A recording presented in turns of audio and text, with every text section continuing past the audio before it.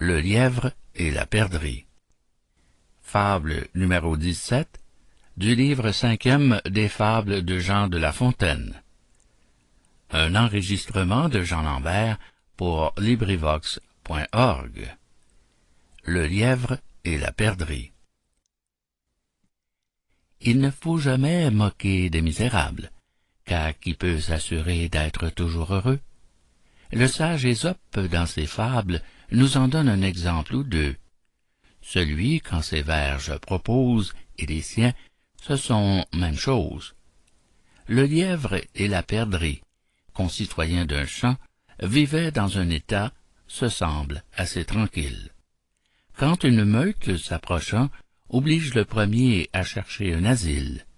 Il s'enfuit dans son fort, met les chiens en défaut, sans même en accepter Briffaut. Enfin, il se trahit lui-même, par des esprits sortant de son corps échauffé.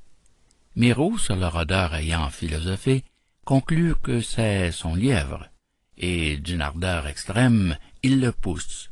Et Rustaud, qui n'a jamais menti, dit que le lièvre est reparti. Le pauvre malheureux vient mourir en son gîte. La perdrix le raille et lui dit « Tu te vantais d'être si vite, qu'as-tu fait de tes pieds ?» Au moment qu'elle rit, son tour vient. On la trouve, elle croit que ses ailes la sauront garantir à toute extrémité. Mais la pauvrette avait compté sans l'autour au cerf cruel. Fin de Le lièvre et la perdrix Fable numéro 17 du livre cinquième des Fables de La Fontaine. Cet enregistrement fait partie du domaine public.